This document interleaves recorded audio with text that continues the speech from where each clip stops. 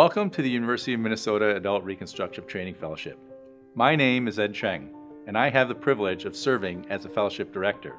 I've been on the University of Minnesota faculty for 30 years, and our department has a strong legacy of educating premier orthopedic surgeons fulfilling our department's mission, which is providing world-class, patient-focused orthopedic care to all, advanced by innovation and education.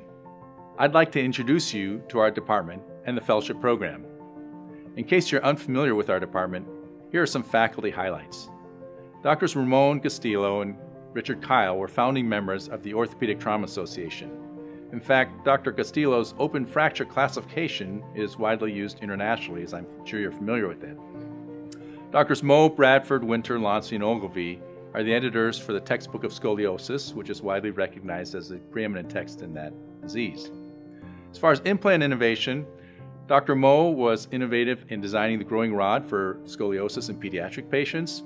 Dr. Kyle was involved in the design for the ACE titanium captured hip screw for intertrochanteric fractures. And Dr. Gustilo has several innovations working with Smith & Nephew on the total knee of the Genesis model type and the Axis knee for Southeast Asian populations. I've been involved with DePuy for their orthogenesis limb preservation system and also with Biomet in helping them design and implement gap balancing instruments for their total knee system. Dr. Roby Thompson and Dick Kyle were presidents of the American Academy of Orthopedic Surgeons. Dr. Thompson was also a founding member of the Musculoskeletal Tumor Society. Dr. Mark Swiontkowski has been president of the American Orthopedic Association. In terms of journal editors, the flagship journal of our field, the Journal of Bone and Joint Surgery, is edited by Mark Swiontkowski in our department and I've had the opportunity and honor to be the editor for the Essential Surgical Techniques Journal of the JBJS family. We have an active residency training program. We train eight residents per year at six hospital sites, including two level one trauma centers, a nationally recognized Veteran Administration Hospital, and two children's hospitals. Our fellowship has been ACGME accredited continuously since 2001. The main training site is at the M Health Fairview Hospital Complex, this consists of three hospitals and one outpatient center, each with fully functioning surgical services. The Riverside campus on the Mississippi River's west bank is where the bulk of the orthopedic cases are performed, and the East Bank campus is reserved for trauma or patients with high risk cardiac comorbidities requiring immediate critical care support. An outpatient joint arthroplasty program is established already at the Outpatient Surgery Center. Transportation shuttles connect the campuses. In addition, some of our arthroplasty surgeons also perform cases at the Tria Orthopedic Surgery Outpatient Center in the South Metro area or the Methodist Hospital in the western suburbs. However, a major strength of the fellowship, in my opinion, and one that differentiates it from other fellowships, is the comprehensive exposure to all aspects of adult reconstructive procedures. Examples of sample cases are posted on the fellowship website. While many fellowships are focused on one aspect of hip or knee replacement, with repetitive cases and exposure to different types of surgical exposures or type of implant, patients seen by the collective faculty in this training program cover the full gamut of adult reconstructive conditions and procedures, such as the young adult hip with femoral acetabular impingement or labral pathology, deformity correction and osteotomies, primary and complex revision arthroplasties, pathologic and periprosthetic fractures, complex pelvic and major skeletal bone and joint reconstruction, and custom and pelvic implants for major bone loss. We use implants from all the major manufacturers and will use surgical navigation and intraoperative CT for unique applications.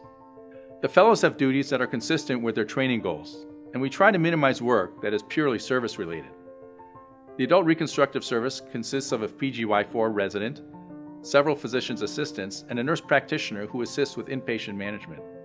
The fellow makes out the case and clinic coverage assignments weekly in advance. My cases involve a high percentage of complex and revision cases. For this reason, fellows perform preoperative surgical planning, they review preoperative data, help select implants, help to coordinate care, and we have a weekly case planning conference that is documented on each patient's medical record. The fellows do not have any regular inpatient weekly rounding duties, with the exception of when the fourth year resident is either interviewing or on vacation, or taking the fall OITE in training examination. Fellows are asked to split the weekend inpatient rounding with the resident and do so every other weekend. There are no call duties. There is, however, a requirement to complete a research project and submit it for publication. In addition, if you give a podium presentation at a professional society meeting, we will provide time off and fund your travel and lodging with an allowance. There are many strengths of this fellowship training program. This fellowship will prepare you for anything. You'll have a comprehensive experience to all areas of adult reconstructive orthopedics. There's a high level of experience with complex, multiply revised revision cases, severe bone loss, prosthetic joint infections, and oncology related major endoprosthetic reconstruction. There are many unique and challenging cases. You'll have experience with all types of surgical exposure, including the extensile type. You'll have exposure to different techniques and surgical philosophies. For example, in the total knee, experience with gap ligament balancing, or measured resection, or kinematic alignment techniques. We try to minimize service related work. You'll have the opportunity for professional networking.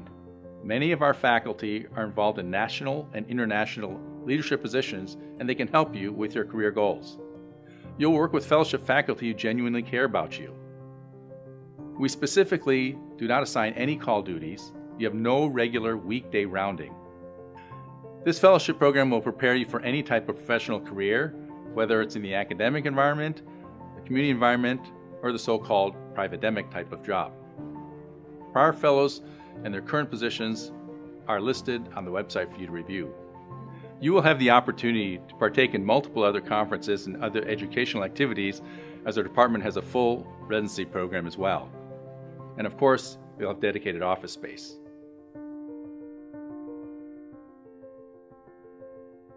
My practice is predominantly in hip surgery. My training is in arthroplasty and young adult hip surgery.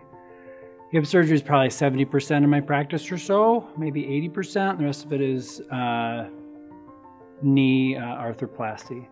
On the hip side, um, young adult hip surgery is predominantly hip arthroscopy, uh, though there are obviously patients that need either surgical hip dislocation or more commonly uh, periacetabular osteotomies. So on the arthroplasty side, I do hip replacements, hip resurfacings, and uh, revisions.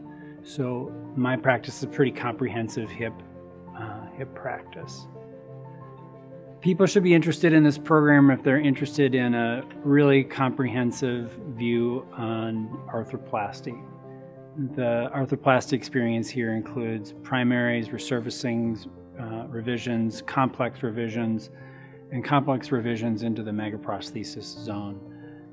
The fellows here in, assist in surgery, uh, in inpatient patient care, in outpatient clinics, and in teaching the residents. It's uh, in that sense no different than any other fellowship program. Uh, there is a fair amount of autonomy, uh, and it is graded towards your uh, ability set. And so, as as uh, fellows progress through the year, uh, they tend to have more and more autonomy um, which is a little bit different than some places where you're either thrown into the deep end immediately or really never get to swim on your own. When you're choosing a fellowship, if you choose to uh, train at an academic health center, you'll have the option to later go into academics. And so, um, one thing that this program offers is the access to uh, significant resources to produce original research. And um, that is uh, an expectation of the fellows here is to produce uh, a manuscript that's worthy of publication. That um, can be a significant advantage in applying for jobs later, especially in academics. Your responsibility as a fellow here at the UMN is first and foremost to gain the experience and the knowledge that you need for your future practice. Uh, this is being aided by every staff member here, uh, both in the OR and in clinic. My practice consists of mainly uh, primary and revision arthroplasty of hip and knee. There's ample uh, experience to be gained in that uh, within this fellowship.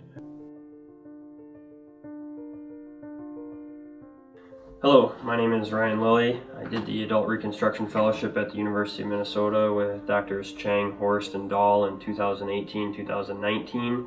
I'm currently in private practice in Mount Pleasant, Michigan, where about 60% of my practice is arthroplasty and 40% is general orthopedics. I, uh, I can't say enough of positive things about the fellowship at the University of Minnesota. Uh, not only are you working with great surgeons, but you're also working with great people. They truly care about you as a person, in addition to your development as a surgeon throughout your fellowship year and subsequently after your graduation.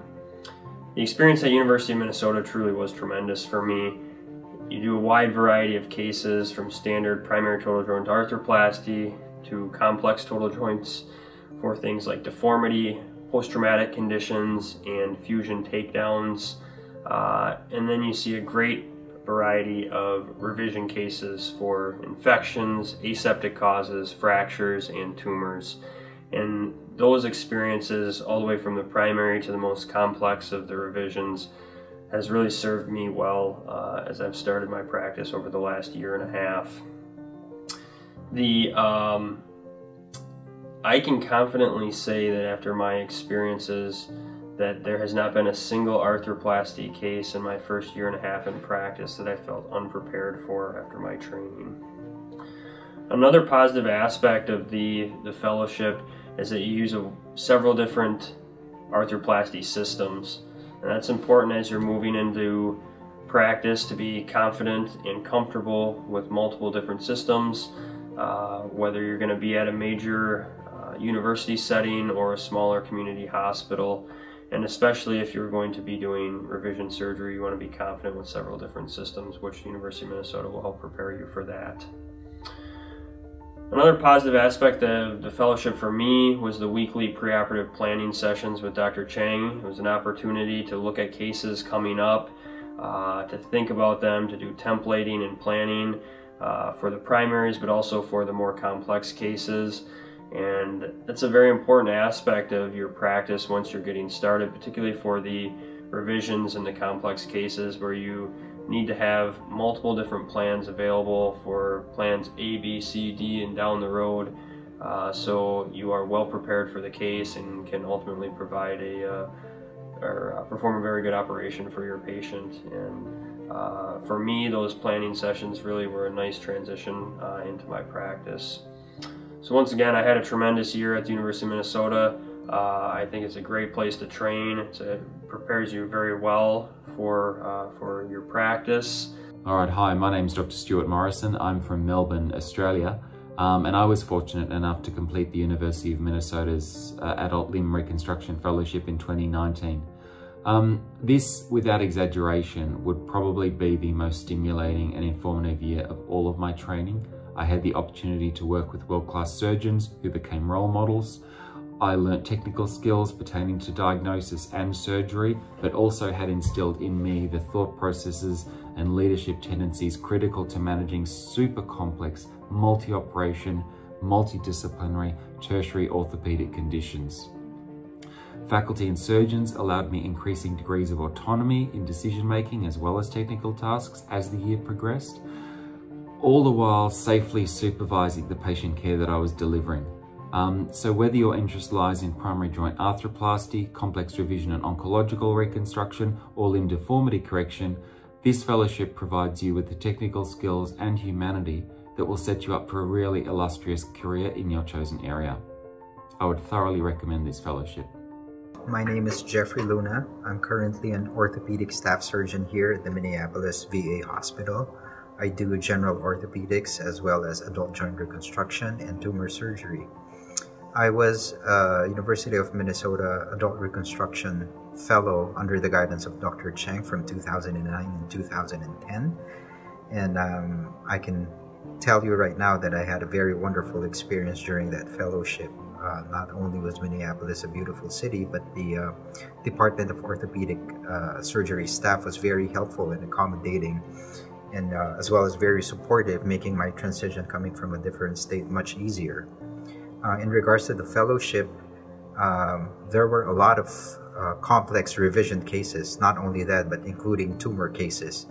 And I do believe that um, uh, managing uh, the tumor cases under the guidance of Dr. Cheng actually strengthened my experience in surgical skills doing adult, um, adult joint reconstruction um, um, surgery.